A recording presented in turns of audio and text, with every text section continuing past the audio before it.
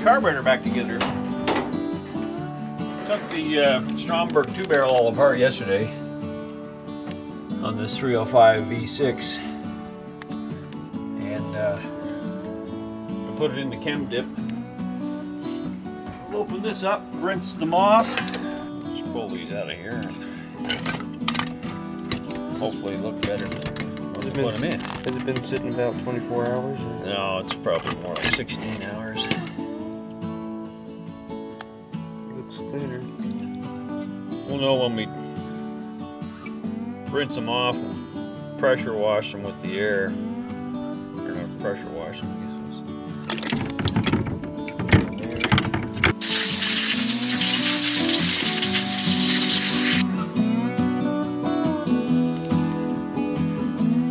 Okay, get all the parts put back together in the right way.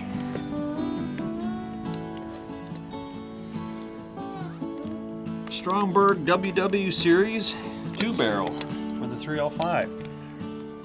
This rebuild kit was what? How much was it? 35 bucks.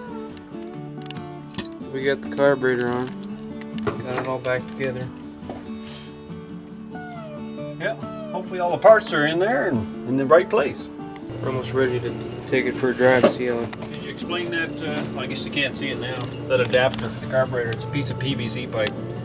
Schedule 43 inch or 4 inch pipe Oh, to make an adapter to fit the the filter housing.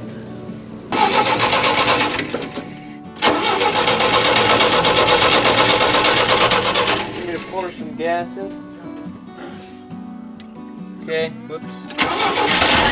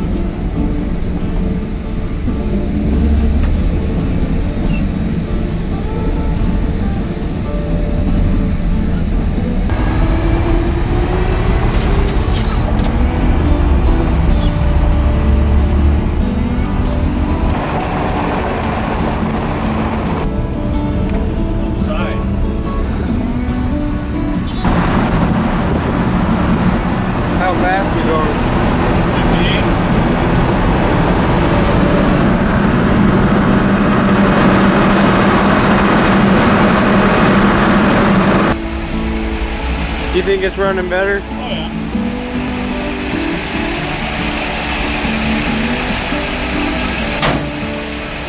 The carburetor sucking better. Hear that sucking sound? Yeah.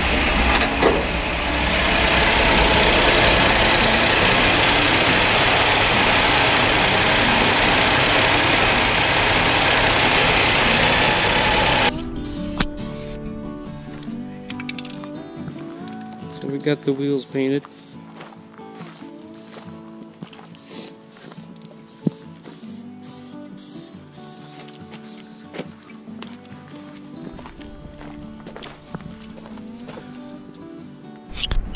Okay, so we got the trim rings on and the center caps. They look pretty good.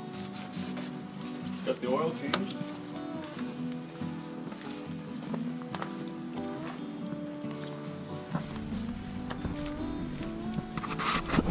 Yep, we changed the oil. Here's the style filter head. It's like a canister style inside the housing. Really heavy duty.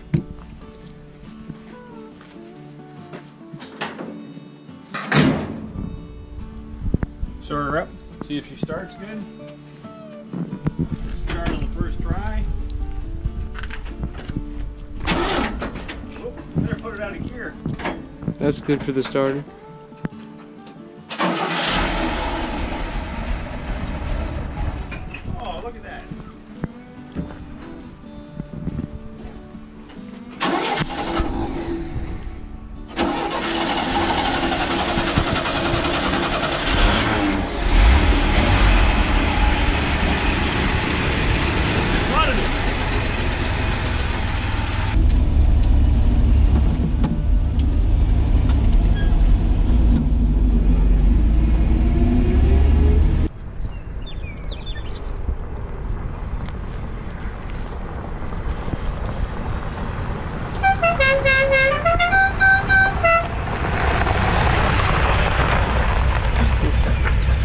Wheels look pretty good.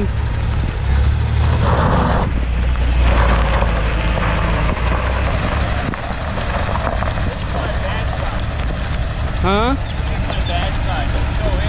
Oh,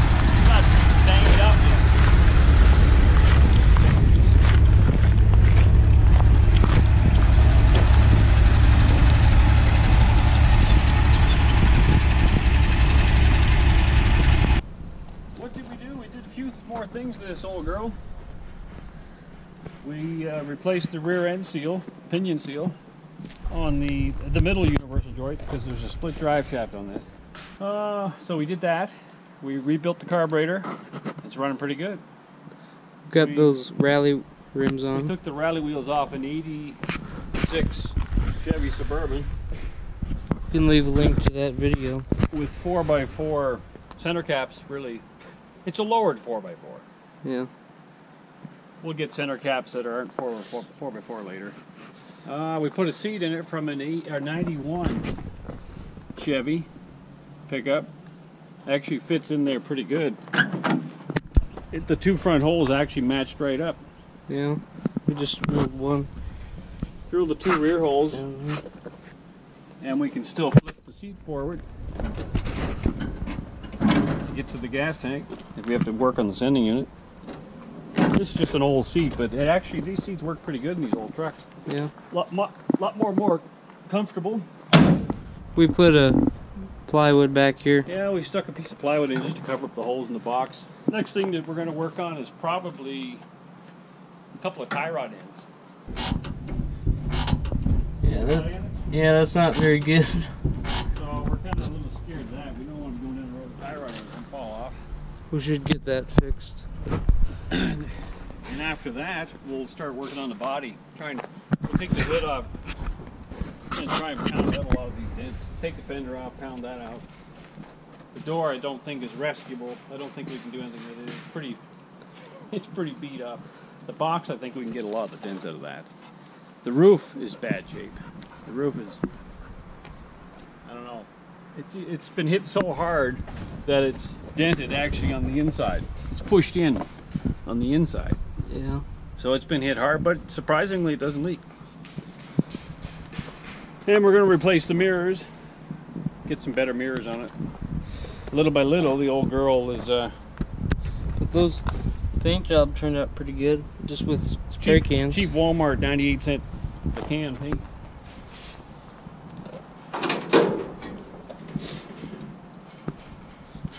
And we'll we'll get our steam cleaner uh, running. We got a steam cleaner we're going to do some work on, and we'll be able to clean up engines a lot nicer with it, and get them painted. Get a lot of this grease off. Scrape first, and then or steam clean. Yep. So that's it for this video. That's it for this one. Till next time. See you later. See you later.